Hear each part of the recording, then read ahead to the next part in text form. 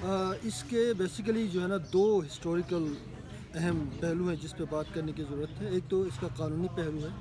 कानूनी पहलू ये है कि 1949 में कराची एग्रीमेंट के तहत गिलगित बल्तिस्तान को हुकूमत पाकिस्तान ने कश्मीर डिस्प्यूट का हिस्सा बना लिया। जबकि लोगों का ये ख्याल था कि उन्होंने अपने आप को कश्मीर राज से लिबरेट कराया अपने स्ट्रगल के ज़रिए, और वो तारीख़ी हक़ मौजूद हैं।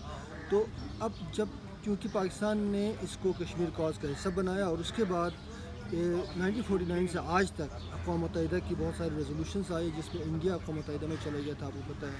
नाइनटीन फोटी एट के वॉर के बाद, पाक, इंडो इंडो पाक वॉर के बाद। उसके बाद जो डेवलपमेंट्स हुई, वो ये हुई कि जो भी डिस्प्यूट का रेजोल्यूशन होगा जम्मू कश्मीर की रियासत के तमाम इकाइयाँ, जिसमें गिलगित बल्तिस्तान, लद्दाख, कारगिल से लेके जम्मू, श्रीनगर, ये सारे इलाके जो है, यहाँ पर एक प्लबिसाइट होगा।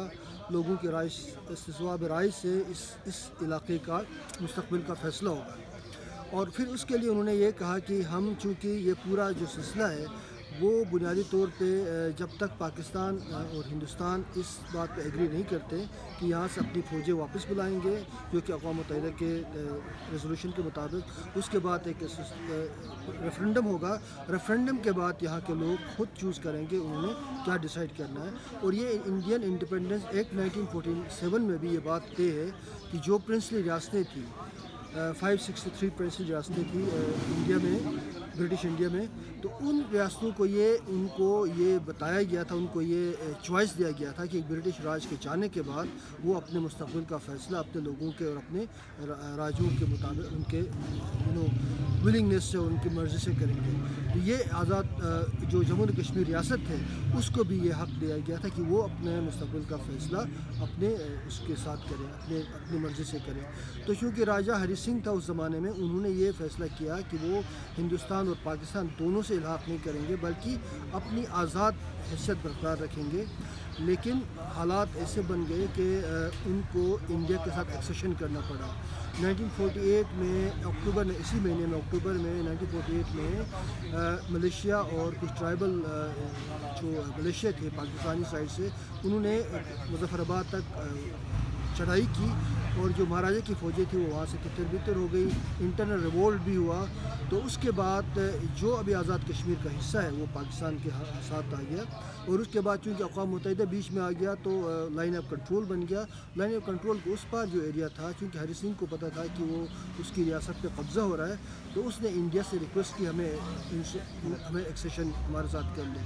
तो इंडिया ने जो एक्सेशन किया था, वो टम्प्रेरी अरेंजमेंट था, क्योंकि पहले जो गवर्नर जनरल थे इंडिया के, वो है लॉर्ड माउंट उन्होंने अपने लेटर्स में लिखा एक्सेशन के बाद कि ये जो एक्सेशन है वो टम्प्रेरी है। जब लॉ एंड ऑर्डर सिचुएशन बेहतर होगी तो फिर दोबारा रियासत जम्मू कश्मीर के तमाम इलाकों को इस इसतवाब राय का हक़ होगा और उसके बाद उसके मुस्तकिल का फैसला तीनों फरीकों के मिलने से होगा, यानी रियासत जम्मू कश्मीर के महाराजा इंडिया और पाकिस्तान। अब उसमें यह था कि बुनियादी तौर पे ये बात फिर चलती रही, उस पर कोई सोल्यूशन नहीं आया।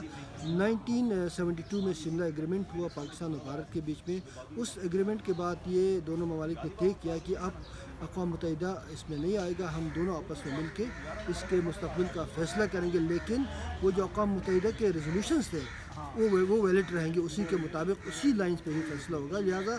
यहाँ पर कोई भी इस पूरे रियासत जम्मू कश्मीर के ख़त्े में कोई भी रियासत, पाकिस्तान और भारत यूनिलेटरल कोई डिसीज़न नहीं ले सकता। उसका एक बुनियादी तौर पर जो डिसीज़न जो भी होगा, वो तमाम फरीकों के आपस में उन अकवा मुतहदा के रेजोल्यूशन के मुताबिक होगा, जिसमें तीन चीज़ें हैं। पहले तो ये कि इस्तेसवाब राय होगा रेफरेंडम होगा। रेफरेंडम के लिए ज़रूरी है कि पाकिस्तान और भारत अपनी फ़ौजें वहाँ से वापस बुलाएँ और जब रेफरेंडम के बाद फ्यूचर का डिसीशन होगा तो फ्यूचर का डिसीज़न लोगों की मंशा के मुताबिक होगा। वो चाहे तो इंडिया के साथ जाए, चाहे पाकिस्तान के साथ। और ये ऑप्शन भी है कि अगर चाहे तो इंडिपेंडेंट अपने रियासत के साख को बरकरार रख सकते हैं। जिस पे बहुत कम बात होती है, लेकिन ये भी एक ऑप्शन मौजूद है।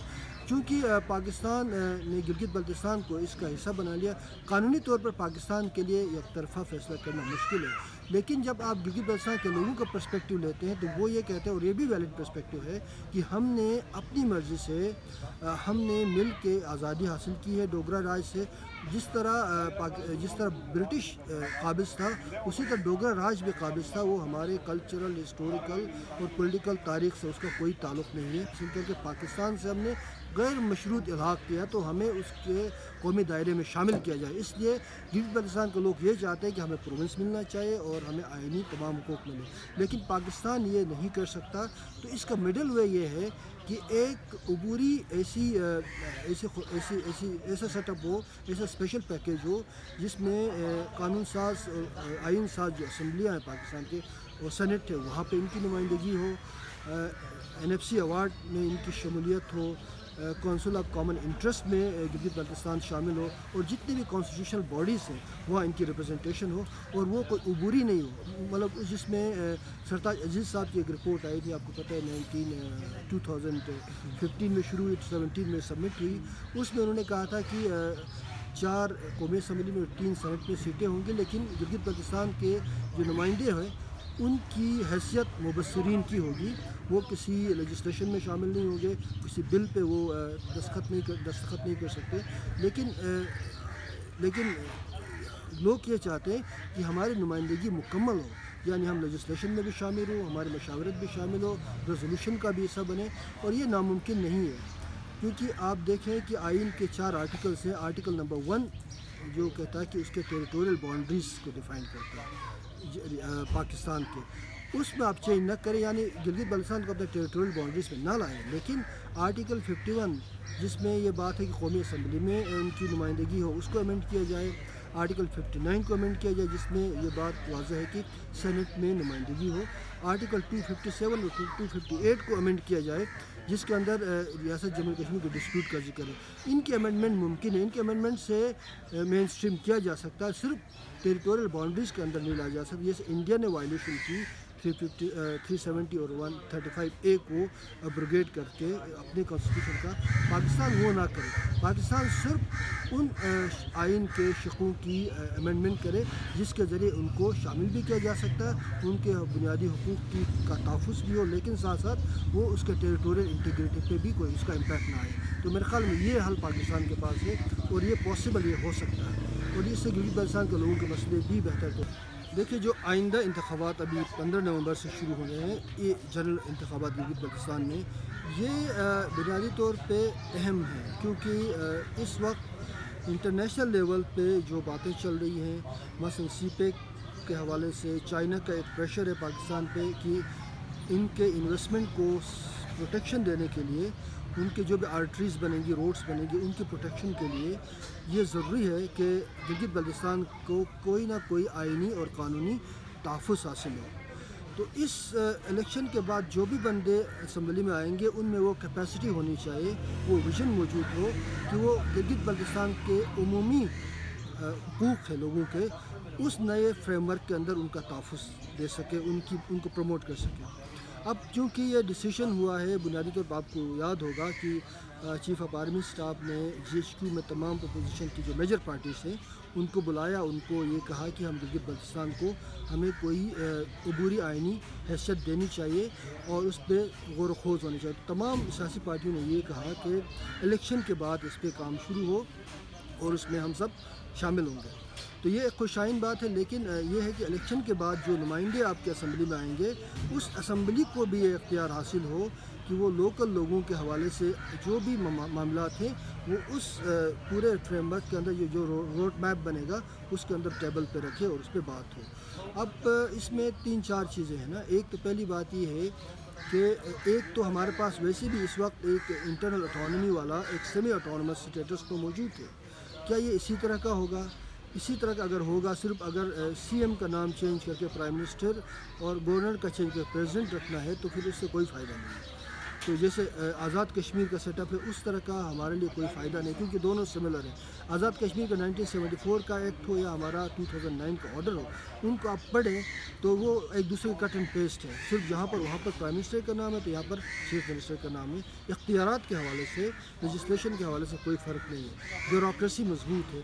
तो बात यह है कि ब्यूरोसी को कितना स्लिम लीन किया जाएगा जो जी बी काउंसिल को डिसोल्व किया जाए गिलगित बल्तिस्तान और आज़ाद कश्मीर अफेयर की मिनिस्ट्री को ख़त्म करके बर रास्त कौमी असम्बली और सनेट में नुमाइंदगी हो, जहाँ पर मुबसरीन की हैसियत से नहीं, मुकम्मल तौर पर कानून साजी का हक हासिल हो। तो ये अगर कर सकते हैं तो फिर इन पार्टियों को इस इलेक्शन की इसलिए इम्पोर्टेंस है कि यहाँ से जो भी टीम सेलेक्ट या इलेक्ट होकर जाएगी, उसका एक बड़ा किरदार होगा और उनको ये तमाम मामला पे कैपेसिटी उनमें मौजूद हो विजन मौजूद हो और विलिंगनेस मौजूद हो। इसलिए जो भी इसमें आएगा तो आवाम से और आम लोगों से, ख़ासकर नौजवानों से ये अपील है कि वो ऐसे लोगों को, नुमाइंदों को चुने जो जाके हमारी इस जो नई जो नई, नया फ्रेमवर्क बन रहा है, उसमें हमारी नुमाइंदगी कर सके प्रॉपर तो इस हवाले से बहुत अहम है। पहला मफरूज़ा ये कि इलेक्शन शफाफ होंगे ट्रांसपेरेंट होंगे, किसी भी पावर का वहाँ पर इन्फ्लुएंस नहीं होगा। अगर ये, लेकिन तारीख़ी तौर पर गिलगित बल्तिस्तान में आपको पता है कि जहाँ सेंटर में जिसकी हुकूमत होती है, वहाँ पर वो लोग जीतते हैं। मसला मशरफ के दौर में काफ लीग का कोई वजूद नहीं था, लेकिन वो जीत के आ गए। इसी तरह पीपल्स पार्टी का यहाँ पर दौर हो तो पीपल्स पार्टी जीतती है। मुस्लिम लीग नून ने पिछले इलेक्शन में स्वीपिंग विक्ट्री हासिल की। इस दफ़ा भी अगर वो गेम हो तो फिर पी टी आई जीतेगी। अगर वो ना हो फेयर हो, देखिए पीटीआई के साथ चैलेंजेस ये है कि उनके पास उम्मीदवार कैंडिडेट्स नहीं है तगड़े। जिनका रूट्स हो, जो ऑर्गेनिक लिंक हो, कुछ इलेक्टेबल्स आए हैं मुख्तु पार्टी से, उनके अपना एक पेट वोट है, वो कुछ जीतेंगे। अगर फेयर ग्राउंड मिले इवन कील मिले तो उस सूरत में पीटीआई के छः सीटें से ज़्यादा से ज़्यादा नहीं हो सकती। पीपल्स पार्टी आठ से दस सीटें ली जा सकती है। उसका ग्राउंड मौजूद है। बाकी इंडिपेंडेंट उम्मीदवार हैं और छोटी पार्टियाँ हैं। मजहबी कुछ पार्टियाँ हैं, उनके कुछ उनका, क्योंकि चौबीस नशस्तें मौजूद हैं। चौबीस में किसी भी मुझे नहीं लगता कि कोई मेजॉरिटी से एब्सूट मेजॉरिटी से कोई हुकूमत बनेगी कोलिशन गवर्नमेंट बनेगी।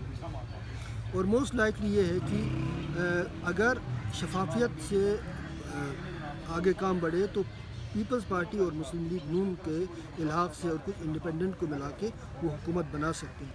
अगर पिछला वाला हो तो फिर पीटीआई किसी के साथ, मजहबी पार्टियों के साथ इलाक करके अपनी हुकूमत बना सकती है। एजुकेशन बहुत हाई है, लेकिन हमजा में पढ़े लिखे लोग हमजा से बाहर हैं। तो वहाँ जो बंदे वोट के लिए पीछे रह जाते हैं, वो या तो गाँव में काम करने वाले लोग होते हैं या बुज़ुर्ग हैं या कुछ खवातीन हैं। अब मसला ये है कि जो लोग पढ़े लिखे हैं वो सियासत से दूर रहे मोस्टली गैर सरकारी तंजीमों के साथ उनका वाबस्ता वो वाबस्ता रहे एक एनजीओ का कल्चर मौजूद है जहाँ पर एक पॉलिटिक्स पर ज़्यादा लोग उसको पॉजिटिव नहीं देखते। हालाँकि पॉलिटिक्स एक ज़बरदस्त पॉजिटिव और ट्रांसफॉर्मेटिव काम है और लेजिस्लेशन और पावर के लिए सबसे बेहतरीन मौसम तरीका है। Instrument of you know access to power और लेजिस्लेशन है। अब मसला ये है कि इस वक्त हंजा में जो कैंडिडेट्स आने चाहिए जो लीडरशिप आनी चाहिए थी, वो लीडरशिप तो ज़्यादा एक पॉलिटिकल प्रोसेस से आती है ना। वो पॉलिटिकल प्रोसेस किसी वजह से रुक गया। क्योंकि यहाँ की जो पाँच मुख्तलिफ़ छोटे छोटे दर्रे हैं, वो बड़े अहमियत के हामिल हैं। चाइना, अफ़गानिस्तान से लेके इंडिया तक यहाँ का पूरा एक, अगर जीबी के हवाले से देखें तो हमज़ा और स्कर्दू, ख़ासकर हमज़ा, बहुत ज़्यादा स्ट्रेटजिकली इम्पोर्टेंट है तो यहाँ पर इसकी जियो स्ट्रेटिक इम्पोर्टेंस की वजह से इसकी एक अस्करी अहमियत भी है। तो यहाँ पे इसलिए आपको सियासी तौर पे ऐसे इंस्ट्रूमेंटल डिसीशन होते हैं कि वो एक ज़्यादा मोबलाइजेशन की तरफ़ ये इलाका ना जाए। तो पहले मोबलाइजेशन भी हुई है, जैसे बाबा जान की अपने साल ने पूरे हंजा में बहुत बड़ी मोबलाइजेशन चली। हंजा के लोग डिपोलिसाइज नहीं है पॉलिटिक्स में है। धरना हुआ रिसेंटली उसमें आपने देखा बहुत सारे लोग अपने हकूक़ के लिए बाहर आए और काफ़ी पूरे जीबी को उन्होंने मुतासर किया इंटरेस्ट किया। तो बात यह है कि हंजा के अंदर अब जो इलेक्शन हो रहे हैं, उसके अंदर हमें फिर वहीं ट्रेडिशनल लोग घूम फिर के उनको लाया जाता है।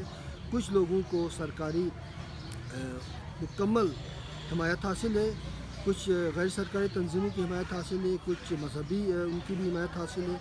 इस तरह के लोग आगे लाए जा रहे हैं ताकि मैनेजेबल इलेक्शन हों। हंजा के हवाले से मैनेजेबल पॉलिटिकल मैनेजेबिलिटी को सबसे ज़्यादा इम्पोर्टेंस दी जाती है। इसलिए अगर इलेक्शन इसी तरह हो तो फिर ज़ाहिर बात वो लोग जीतेंगे जिनको लाया गया है। लेकिन अगर इलेक्शन लोगों के एस्परेशन और ट्रांसफॉर्मेटिव पोटेंशियल से हो और फिर शफाफियत रहे इंटरवेंशन ना हो तो फिर मौका ये है कि जितने भी रोशन ख्याल लोग हों, जितने भी वहाँ एक ब्रॉडर पॉलिटिक्स करते हैं जनरल इशूज़ की, उनको मुतहद होकर लड़ना होगा। वो भी तकसीम है इस वक्त, वो भी आपस में लड़ रहे हैं। तो हंजा में इस वक्त जो सूरत हाल है वो काफ़ी अनसर्टेन है।